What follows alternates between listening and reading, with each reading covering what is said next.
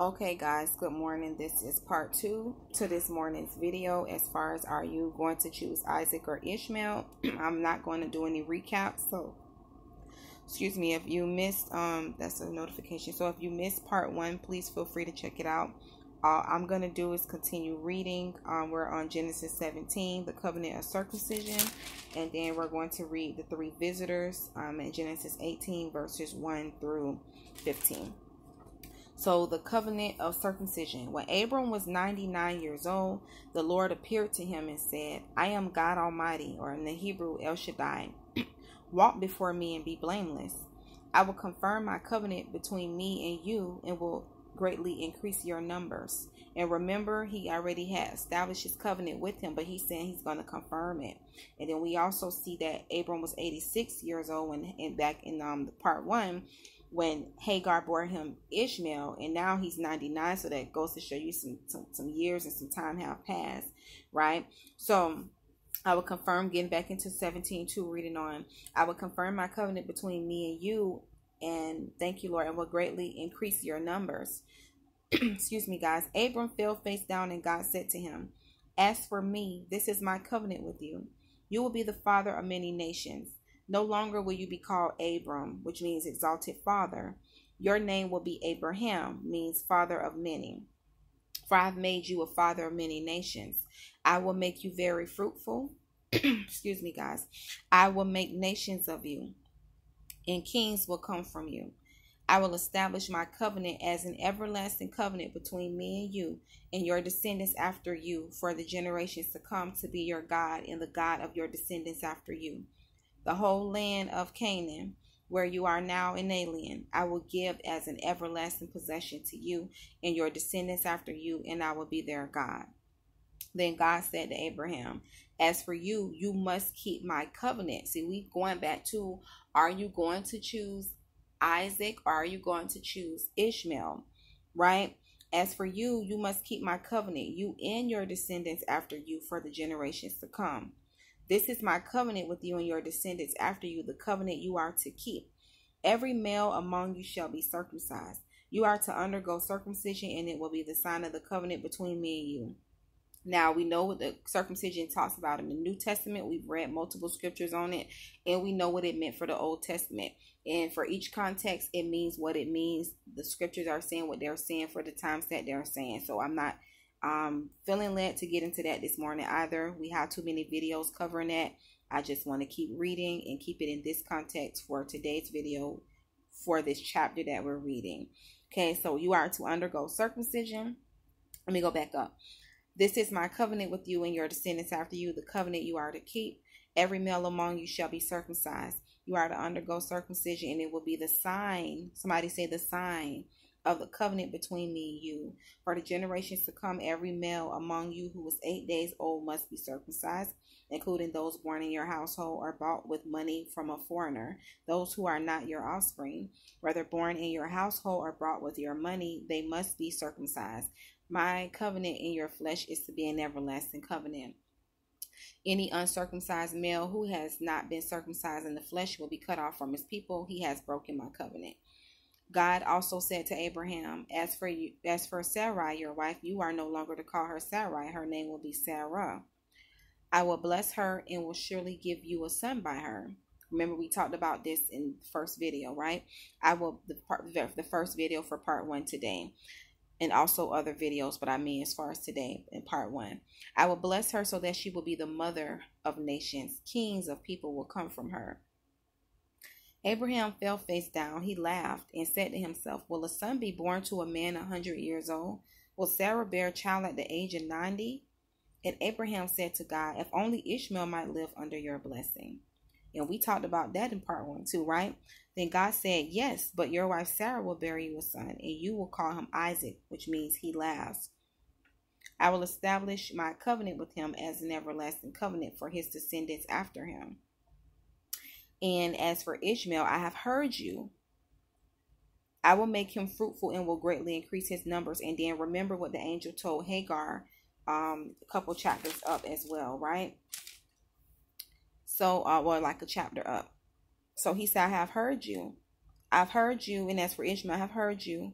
I will surely bless him, and I will make him fruitful, and he will greatly increase his numbers. He will be the father of 12 rulers, and I will make him into a great nation. And then also remember, Isaac is the, ruler of 12 as well.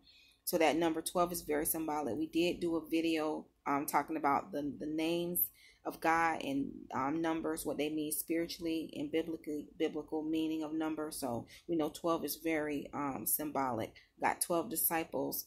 You got the 12 tribes of Israel. And then also Isaac, um, or the Israel, yeah, Jacob, Isaac, when they were birthed through him, because Abraham, Isaac, Jacob, Jacob birthed the 12 sons, the 12 tribes and then you also you know also um ishmael has his 12 rulers as well so this this number 12 is very um symbolic so and i will make him into a great nation but my covenant i will establish with isaac whom sarah will bear to you by this time next year when he had finished speaking with abraham and we're going to close in a few minutes guys god went up from him on that very day, Abraham took his son Ishmael and all those born in his household or bought with money, every male in his household, and circumcised them as God told him. What is that? The fire? Um, sound like it. As God told him. Abraham was 99 years old when he was circumcised, and his son Ishmael was 13. Abraham and his son Ishmael were both circumcised on that same day and every male in Abraham's household, including those born in his household or brought from a foreigner, was circumcised with him. So there's a lot that I could say with this chapter. I won't really get into it. You guys can let me know in the comments what this chapter is saying to you. But the power of obeying God um, is speaking out to me. I'll just share a few points because, like I said, we did a Genesis series last year, so we went a little bit more into this and just how God hears your prayers, the power of obeying Him the power of communion with him, the power of obedience, um, the power of knowing that, you know, if you have God and he don't say it's too late, then it's not too late. You know, there's some other nuggets I'm getting, but let's read about these three visitors. Um, yeah, and I'm gonna go back up. And his son Ishmael was 13. Abraham and his son Ishmael were both circumcised on that on that same day. And every male in Abraham's household, including those born in his household or brought from a foreigner, was circumcised with him. So let's read. That was Genesis 17.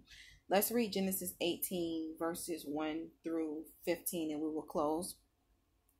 The, the talking about the three visitors. The Lord appeared to Abraham near the great trees of Mamre. And remember, we talked about Mamre before, right? With this entire situation while he was sitting at the entrance to his tent in the heat of the day. Abraham looked up and saw three men standing nearby. When he saw them, he hurried from the entrance of his tent to bow, I'm sorry, his tent to meet them and bowed low to the ground. He said, If I have found favor in your eyes, my Lord, or O Lord, do not pass your servant by. Let a little water be brought, and then you may all wash your feet and rest under this tree. So he's giving them so much great hospitality here in um respect and favor. You know, he's blessing them pretty much. Let me look and watch like look let a little water be brought and then you may all wash your feet and rest under this tree. Let me get you something to eat so you can be refreshed and then go on your way now that you have come to your servant. Very well they answered do as you say. So abraham hurried into the tent to sarah. Quick he said get three seahs and that's like um 20 quarts of fine flour and kneaded and baked some bread. Then he ran to the herd and selected a choice tender calf and gave it to a servant who hurried to prepare it.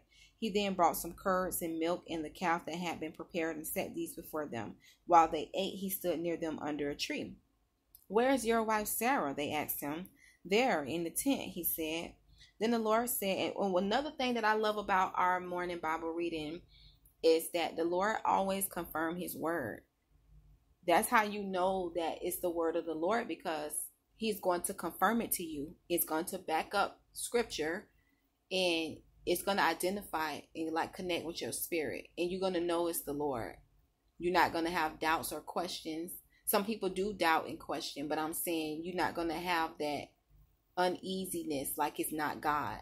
Because a lot of times when you feel that uneasiness or your gut or that intuition or your spirit at them red flags, you know deep down it's not him. But the thing about God is getting back to um our video from this morning before this too. The thing about God is he's gonna confirm his word. Because you see how he said he allowed Sarah to, he allowed certain things to be for Sarah, like said over Sarah, and then he allowed certain things to be said over Abraham. But it, it was confirming. It wasn't. It didn't conflict. So, like for example, who God have for you is not going to be somebody that's going to take you away from the will of God. It's not going to be someone where you have to make a decision. Are you going to choose them or choose God? You already know what time it is. What that that that's not from God. It's not going to be where you have to lower your standards and you have to get away from God to to connect with this person.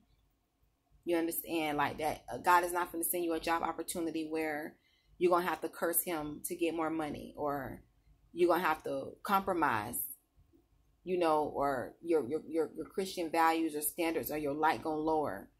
That's that's not god. God is not going to send you that wealth and abundance from that avenue or that way. Now we're in another scenario where i can hurt and close and it's taking you away from him. God is not going to send you anything or anyone that's going to conflict you and him that's going to conflict your Christianity. There are going to be times where you have to stand up and be bold and make a choice. Yeah. But I'm saying he's not going to send nothing that's going to deviate you along from away from his path. It's not going to be where you have to choose God and Satan. If it's from God, it's going to be lined up according to his will. And if it's of the enemy, if it's of the devil, it's going to be lined up to his will. So you see what I'm saying? So I like that God confirmed his word on both sides. And his his word kept was kept being aligned. That's the thing about God's word. Like are we listening to it? Are we y'all gotta eat my stomach's growling, sorry guys. Um are we listening to it? Are we taking heed? You know. And the last time I ate was yesterday afternoon. Yeah, so I need to eat it. So um let's hurry up and read, guys. So look, where's your wife Sarah? They asked him. There in the tent, he said.